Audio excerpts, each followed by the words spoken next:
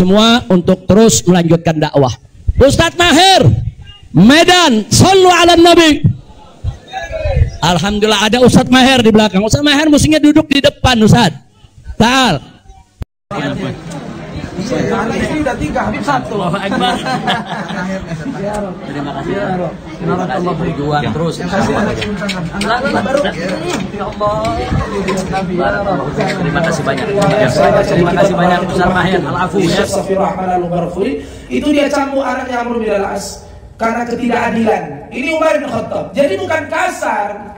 Rasulullah itu tidak pernah mencaci maki. Rasulullah menyebutkan khawarij dengan kilabu ahli nar. Buka sahih Bukhari.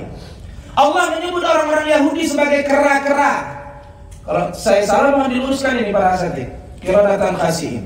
Jadi ada tempat di mana harus lembut, ada tempat di mana harus tegas. Allah yang nyuruh. Tadi dibaca sama Buya Khalad.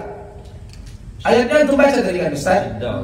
Muhammadur Rasulullah walladzina ma'ahu asyidda' 'alal kufar ruhama bainahum. Jadi kalau ana Habib Bahar, Habib Rizik, Habib Muhammad Hanif keras caci maki sama ente sesama mukminin hada khata sibabul muslim fusuqun wa qitaluhu kufrun. Tapi kita orang ini keras tegas sama musuh-musuh Allah musuh-musuh agama penista-penista agama. Jadi memang penista agama itu harus dinistakan bukan dilembutin. Gitu kan? Jadi gak ada lemah-lemah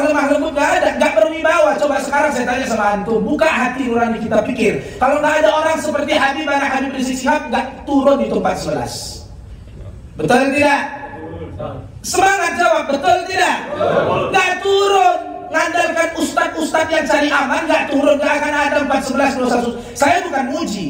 Kalau muji itu di depan